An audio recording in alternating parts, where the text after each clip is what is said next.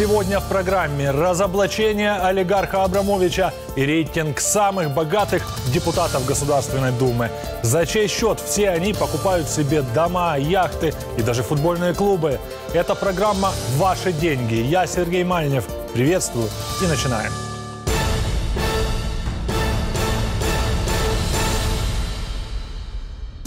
В нашей программе мы часто говорим о плохом. Ну уж такие реалии жизни в России. Экономика падает, денег все меньше, а проблем все больше. И если вы вдруг утомились от этого, то вот новость и тема, чтобы наконец порадоваться. Один из самых богатых россиян, Роман Абрамович, потерял минимум треть своего состояния. Почему это с ним случилось? И главное, кому теперь достанутся миллиарды одного из спонсоров Путина? Может быть, тем, кому они на самом деле принадлежат? Простым россиянам? Как думаете? Абрамович теряет треть своего капитала. Роман Абрамович остался другом Путина.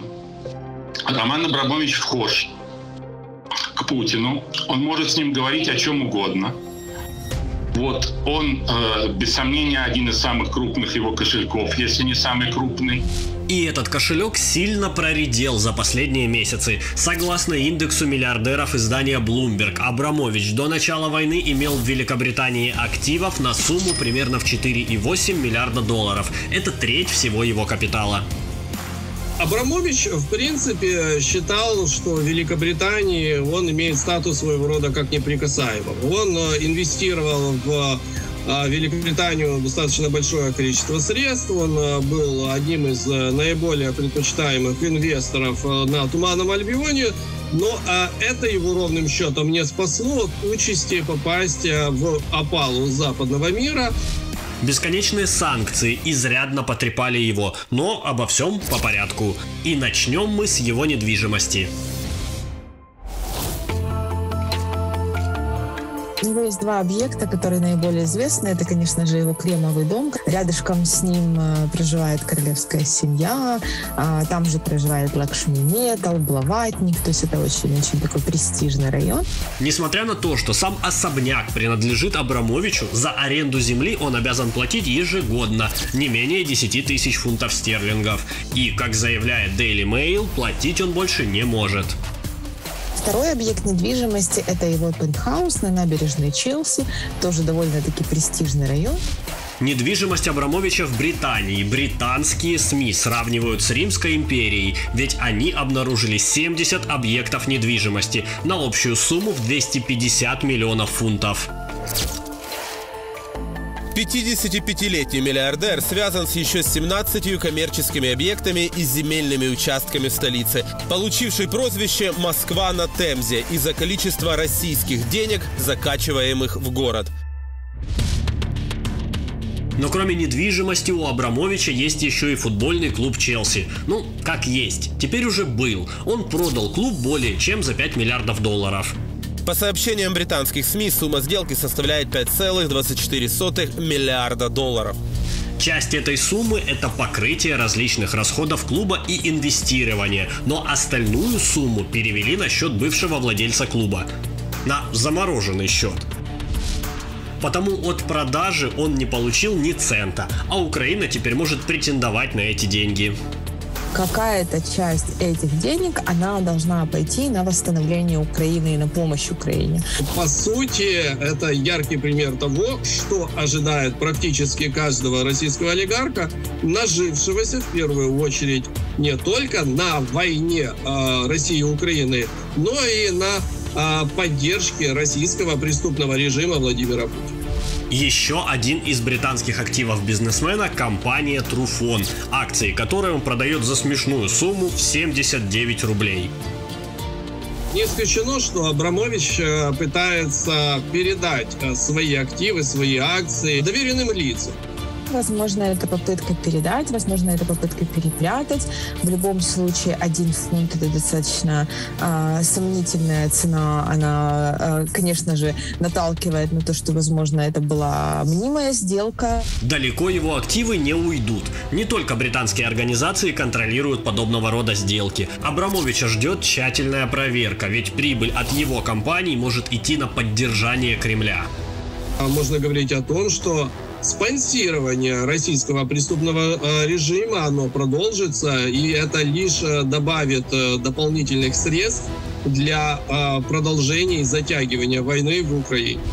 Британия уже показала свою решительность на примере компании Евраз. Сегодня Абрамович просто не может продать этот актив.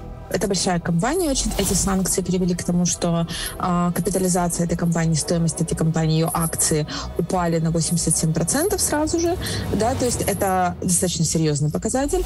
Абрамович годами вкладывал деньги в Великобританию. И может сложиться впечатление, что у него особая любовь конкретно к этой стране. Но эксперт уверяет, что если любовь и была, то она никак не связана ни с чем духовным. Лондон — это юрисдикция э, достаточно выгодная выгодная для бизнесменов, то есть там очень хорошо защищенное право собственности. А, там а, раньше, раньше были возможности спрятать а, активы, спрятать себя как собственника.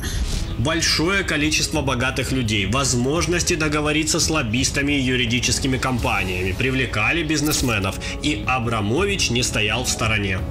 Это все осталось в прошлом. На сегодняшний день Великобритания меняет и уже изменила частично продолжает менять свое законодательство, чтобы, зная своего клиента, было действительно правилом, которое работает, чтобы не было возможности отмывать деньги, использовать офшорные юрисдикции и все остальное.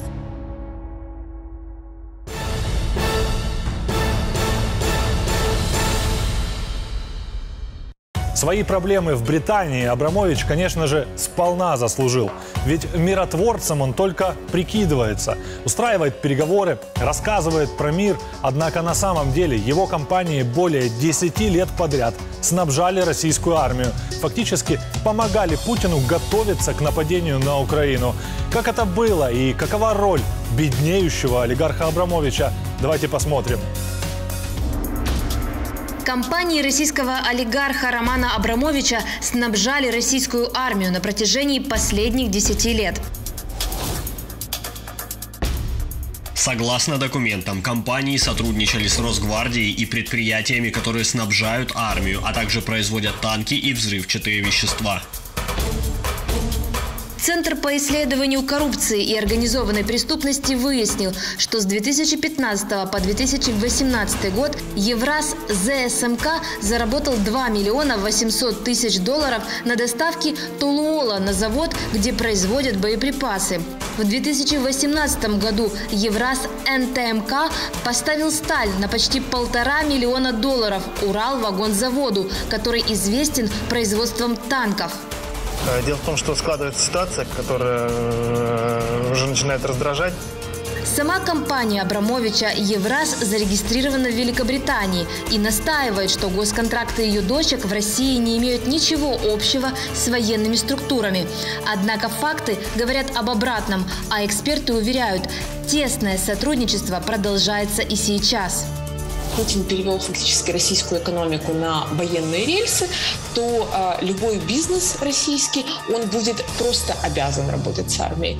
Снабжая российскую армию, которая стреляет в украинцев, Абрамович требует снятия с себя персональных санкций. За этим даже пошел в суд. Хочет, чтобы Евросоюз еще и заплатил ему компенсацию в размере 1 миллиона долларов, которые показушно собираются отдать украинским беженцам. Все, что он сегодня делает в, в этой войне, это фактически создание картинки и сохранение своей репутации. Очевидно, для образа голубя мира еще в марте Роман Абрамович присоединился к переговорному процессу между Россией и Украиной. Смотрите, я же вот за мир, я Челси там продал, готов там Украине деньги передать, могу быть посредником, все, кем угодно могу быть, не отнимайте, пожалуйста, мои активы и не подводите меня под санкции. Это очень э, дурной побудительный мотив, понимаете? Человек, который действует под э, шантажом, неважно какой стороны, он, безусловно, преследует совершенно иные цели. Он не преследует цель прекратить войну, он преследует цель, как Абрамович, чтобы, не дай бог, у него не отняли его активы за пределами Российской Федерации. Тот факт, что в переговоры Абрамович вступил в составе российской делегации, говорит о по-настоящему близких отношениях олигарха с Кремлем. Доказывает, что он, что он участвует в переговорах за, э, за мир, а с другой стороны он доказывает, что он из всех олигархов он действительно самый близкий. В Турции же у Абрамовича, кроме переговоров, есть еще множество других обязанностей, таких как организовать убежище для любовницы Путина Алины Кабаевой. Переселение Кабаевой в Стамбул, где куплен как я не знаю, на чьи деньги, денег там у них много, куплен большой дом и, соответственно, дом на побережье. И выделена президентская охрана. Как я понимаю, переговоры проводил Абрамович. Я, так сказать, в достаточной степени уверен в том источнике, который мне об этом говорил. Абрамовича считают вхожим в близкий круг Путина, и у него есть прямой контакт с российским диктатором. Поэтому эксперты надеются, доказательства того, что бизнес олигарха замешан в военных поставках, не позволят снять с него санкции. Если э, в суде будет действовать принцип справедливости, правосудия и действительно объективного подхода к этому, то выиграть суд в таких условиях невозможно, потому что санкции на Абрамовича действительно и на эту компанию были наложены абсолютно правильно.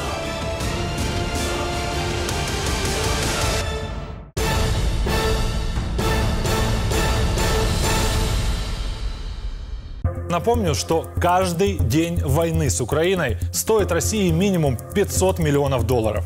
Центральный банк РФ уже не скрывает. Расходы бюджета значительно превышают доходы, и это неминуемо отразится на каждом из россиян. И вот тут как раз бы власти про этих самых россиян подумать, как помочь, как подстраховать, ну, на случай краха экономики. Но нет, власть Путина делает все наоборот. Например, продлевает ограничения на оборот валюты в РФ. Что это значит, к чему приведет и насколько все плохо, разбираемся в следующем материале.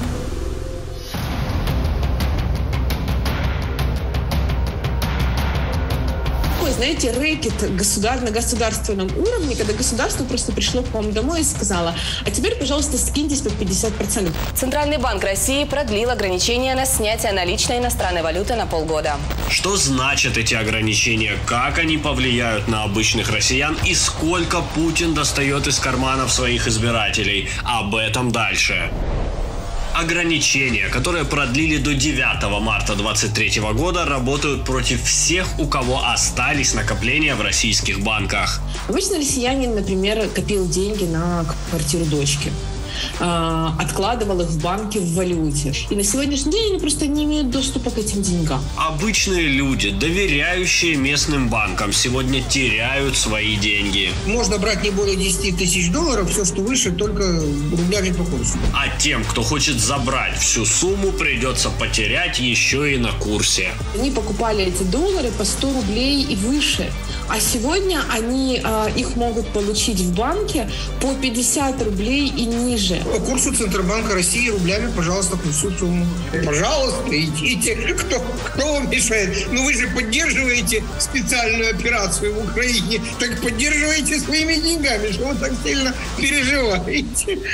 Вот и все доверие путинскому режиму. У вас забирают часть ваших денег, не давая законной альтернативы. Ну, чисто технически остается остается еще черный валютный рынок. Естественно, это толчок к черному рынку валюты 100%.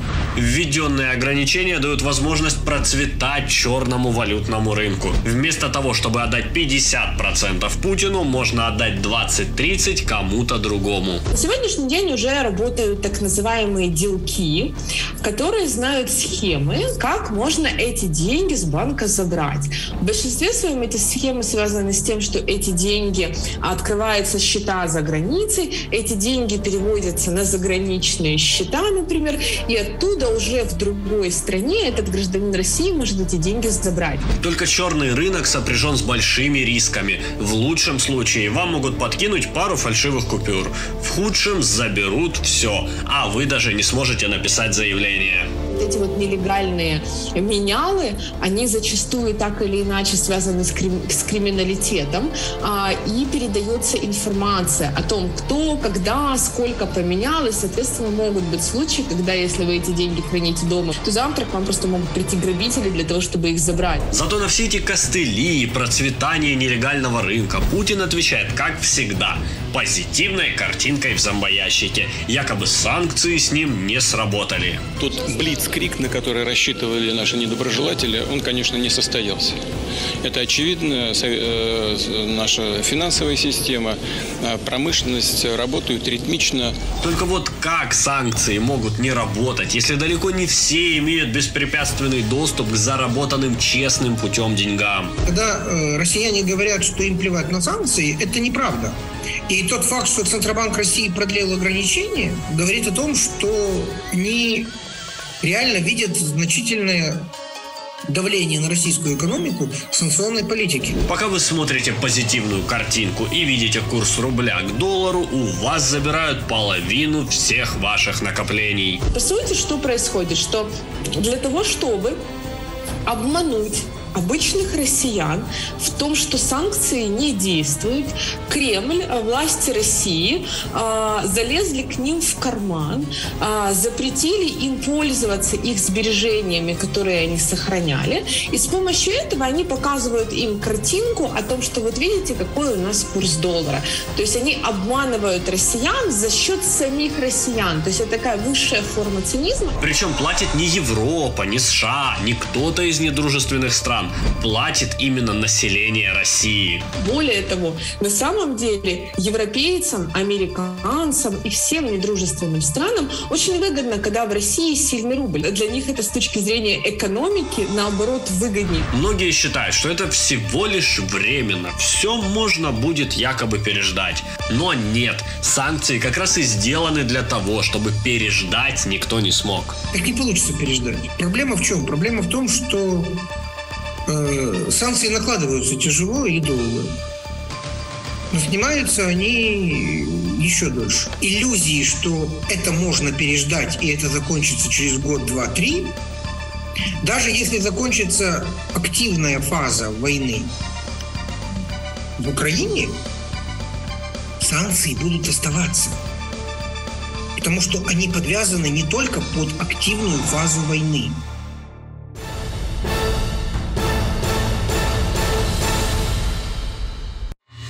Ну а дальше покажем вам тех, кому в путинской России, в отличие от большинства, жить очень хорошо. Рейтинг самых богатых депутатов Государственной Думы. Откуда у народных избранников миллиарды рублей? Вопрос риторический, и можно было бы просто сказать, ну наворовали. Но нет, у каждого депутата своя история успеха, которая заслуживает внимания в первую очередь органов. Но те, конечно, своих не трогают. Потому просто смотрим и запоминаем. Время ведь спросить придется каждого. Народ России все беднеет и беднеет. Вам приходится на чем-то экономить? Ну, конечно, на всем. Потому что цены, что кусаются в магазинах. А депутаты Госдумы только богатеют и богатеют.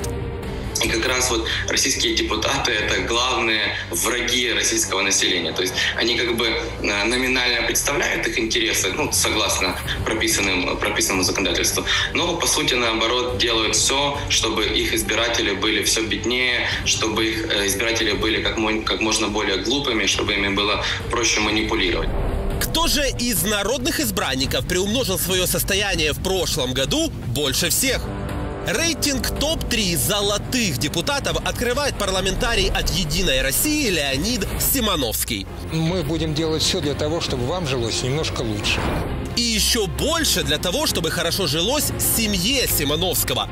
Доход депутата в 2021 году составил почти 1,7 миллиарда рублей. Леонид – настоящий завсегдатай Госдумы. Депутатом является с 2003 года, то есть пять созывов подряд.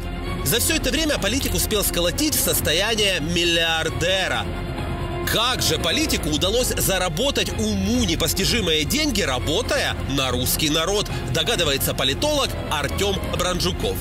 Для них там самые жирные времена – это как раз утверждение годовых бюджетов, где они а, выбивают либо под свои округа. Депутат, который пролоббировал а, это решение в парламенте, получает свои откаты, а, так называемые дивиденды от подобного строительства.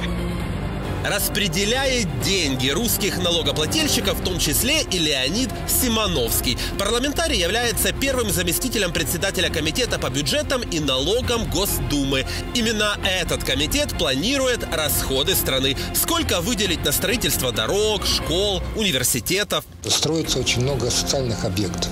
Детские сады, больницы. Вот я, значит, причем это не только Самара и Тольятти, это региональные центры, это и сельские поселения.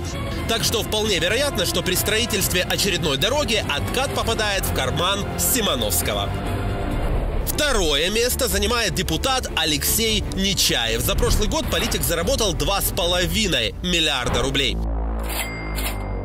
В 90-х он зарабатывал деньги на продаже газет в переходах. Потом занялся косметикой. Дорос до создания компании Faberlic, занимающейся производством и продажей бьюти-продукции. Но этого бизнесмену было мало. Поэтому для обеспечения крыши для своего предприятия он отправился в политику. У него есть большое количество преференций, как финансовых, так и по отношению к закону. А коррупционные скандалы обходят их стороной, и никаких расследований не происходит. То же самое, там полностью индульгенция от а, каких-то правонарушений. Нечаев так старался, что даже заслужил быть доверенным лицом Путина на президентских выборах 2018 года, а уже в 2021 году стал депутатом Государственной Думы. Сегодня мы сильнее, опытнее, уже более битые, чем 30 лет назад.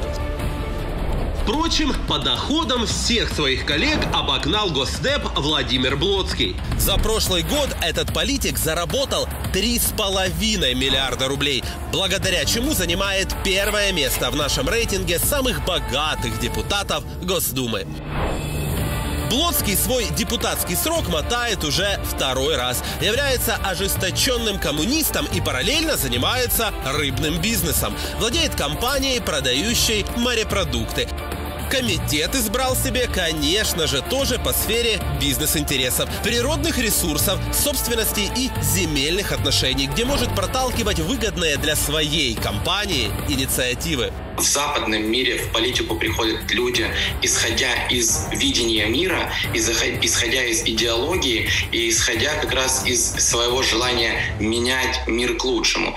То в России это просто как социальный лифт, который дает тебе возможность безнаказанно заниматься коррупцией, зарабатывать деньги.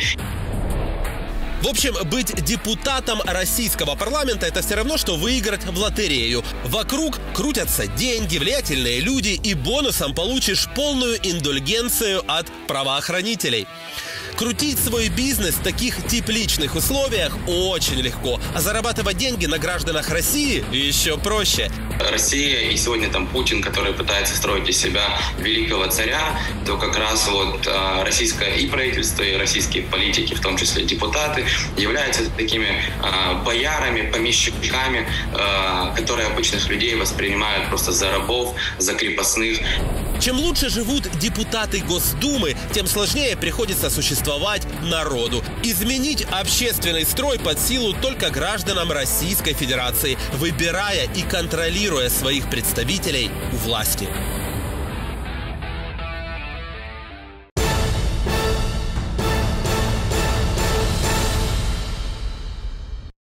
Это была программа «Ваши деньги» про тех, кто делает россиян беднее. Героев надо знать в лицо. Смотрите нас в эфире проекта Freedom по вторникам и пятницам в 16.30, а также в любое удобное время на YouTube-канале Гроши. Подписывайтесь и увидимся.